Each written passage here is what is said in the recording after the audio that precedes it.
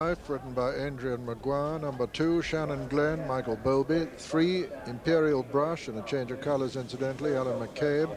Four, Spanish Servant, Jamie Railton. Five, Egypt Mill Prince, Mark Pitman. Six, Boarding School, Brian Storey.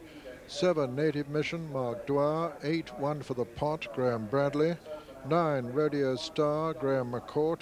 Ten, O Virginia, Jonathan Leach. Eleven, Galway Star, Peter Scudamore, 12 Bookcase, Anthony Proctor, 13 Marlingford, Derek Morris, 14 Viking Flagship, Richard Dunwoody, and 15 the dual course winner Kibrit, ridden by Paul Holley, and uh, you'll note that Galaxy High is a non-runner, so 15 runners. Uh, co-favourites on 7 to 1, Native Mission and Viking Flagship are the others. 7 to 1, these three. Galway Star and Egypt Mill Prince, 8 to 1, same price as Rodeo Star. Jungle Knife and Boarding School, they're 12 to 1.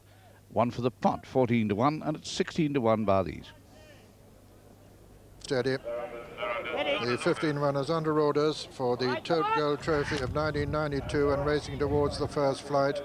And up there with them is Old Virginia, Imperial Brush in the center and towards the near side Spanish Servant.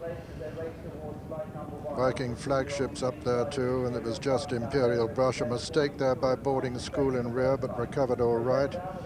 And it's Old Virginia River on the far side, Imperial Brush, then Viking flagship. They're being chased on the far side by Bookcase. On the near side, right up with them is Marlingford.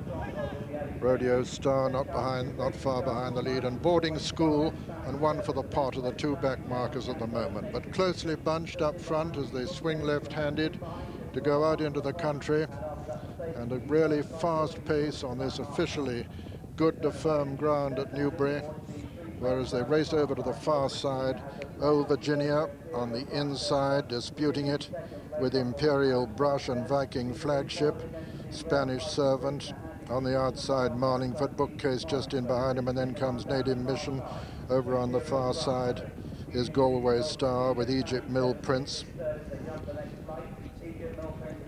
and the back marker is boarding school. Old Virginia, the leader,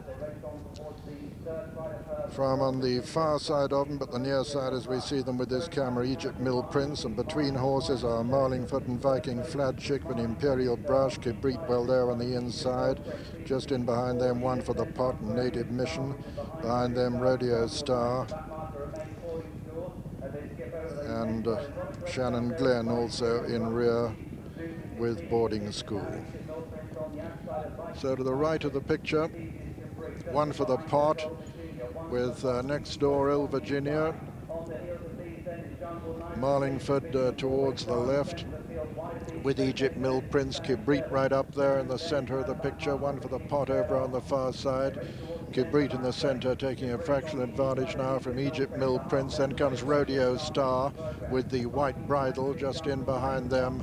Uh, Native Mission and uh, the top one, Jungle Knife, with still boarding school in rear. And Imperial Brush has dropped back as well as they race towards the cross hurdle. Kibrit on the inside. Egypt Mill Prince, Jungle Knife just in behind the lead. One for the pot is still in close contention. Rodeo Star right up with the lead still. Beginning the race round the home turn now. Rodeo Star, Egypt Mill Prince, and then Kibrit, then Jungle Knife and Native Mission making steady progress. But Rodeo Star has the advantage towards the left of the picture from Egypt Mill Prince over on the far side. Just in behind them come Native Mission, still making quite significant progress. Coming down now towards the second last, and as they do so, it's Rodeo Star, Native Mission still making ground. A faller there, incidentally, was Spanish Servant, running down to the second last now.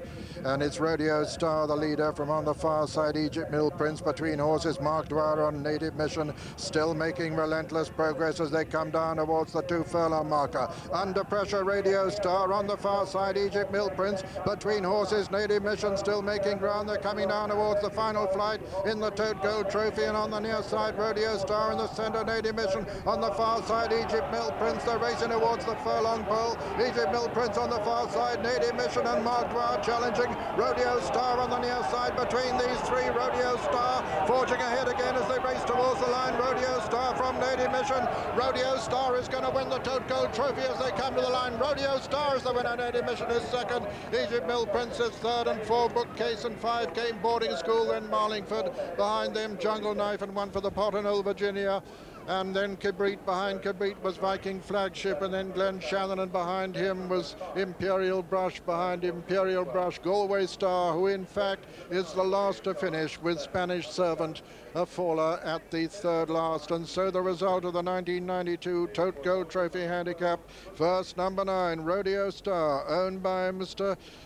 J.C. Bradbury, trained by Nigel Tinkler, who rode the second in this race back in 1977 on Flying Diplomat, and ridden by Graham McCourt, his 67th winner of the season. Second was number seven, Native Mission, owned by Tony Badger Quine Limited, trained by Jimmy Fitzgerald and ridden by Mark Dwyer. And third, number five, Egypt Mill Prince, owned by Mr. S.R. Webb trained by Mrs. Jenny Pitman and ridden by Mark Pitman. Fourth was number 12, Bookcase. First number nine, Rodeo Star, 15 to 2. Second number seven, Native Mission, 13 to 2, joint favourite. Third number five, Egypt Mill Prince, 15 to 2.